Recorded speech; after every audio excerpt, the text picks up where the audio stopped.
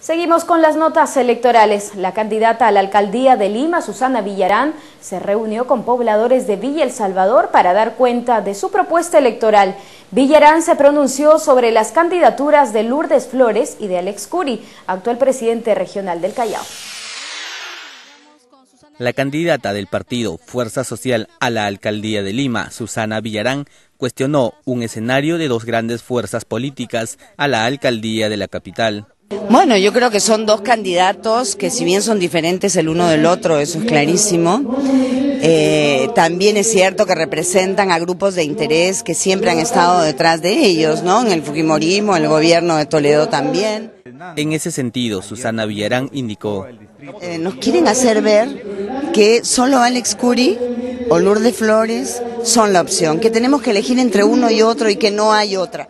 Respecto a su propuesta electoral para la zona sur de Lima, la candidata de Fuerza Social refirió.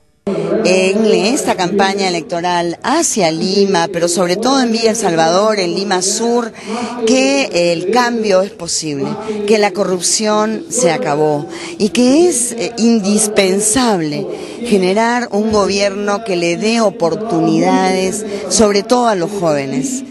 Asimismo, la candidata a la alcaldía de Lima aseguró que de ganar las elecciones municipales de octubre se concentrará en gobernar de cara a la gente, ordenar el transporte, prevenir el delito y limpiar la ciudad.